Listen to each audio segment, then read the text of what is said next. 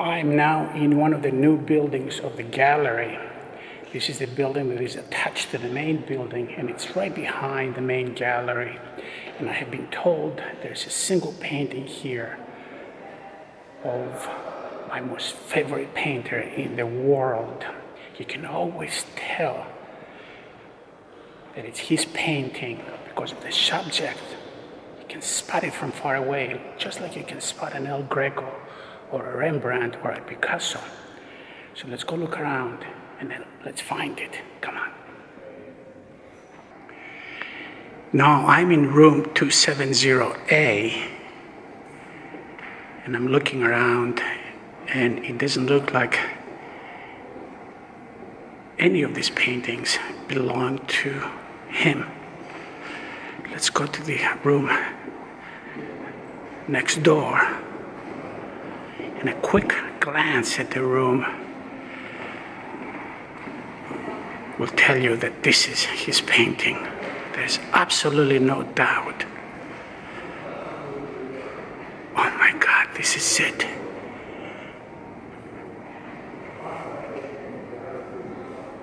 Without a doubt. Edvard Munch. The painter from Norway.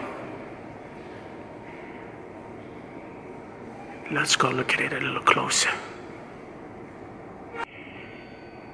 He painted this magnificent painting in 1916 and uh, it is titled The Death Struggle.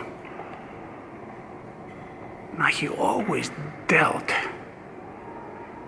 with kind of sad subjects like death. You know him from the very famous The Scream. But here he's dealing with a dying person. You can see the head of the person on the pillow right there. We cannot tell his or her age. What we can tell is the members of the family looking at a dying person and praying. See their concern in their faces.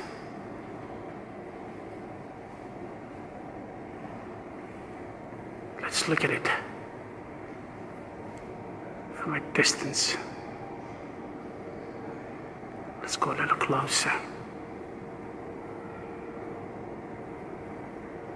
Beautiful. Absolutely magnificent.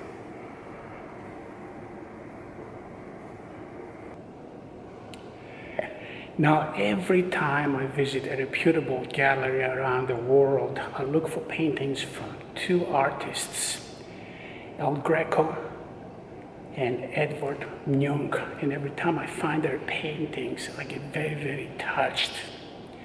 This is a very special occasion for me. When I came here to this gallery here in Denmark and I asked the lady downstairs, she said they didn't have any paintings. I was very disappointed because he's from Norway. How can they not have any paintings here in Copenhagen?